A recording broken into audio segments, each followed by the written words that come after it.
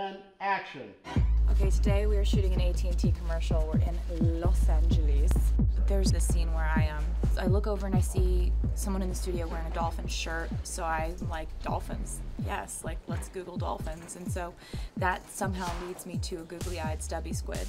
And uh, it was funny because I was looking at this news story where they discovered a squid that is like looks like a child's toy. Just just like child dropped it like on the ocean floor. It's got these like scared like googly eyes.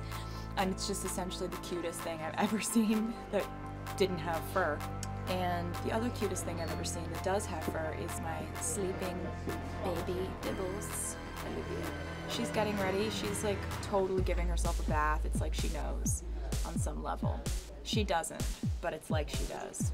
Oh, are you my precious angel kitty cat? Are you the princess of Meowtown? Yeah, you are. Just a little baby jelly bean. Just a little slow snow badger. Just a small chubby ferret.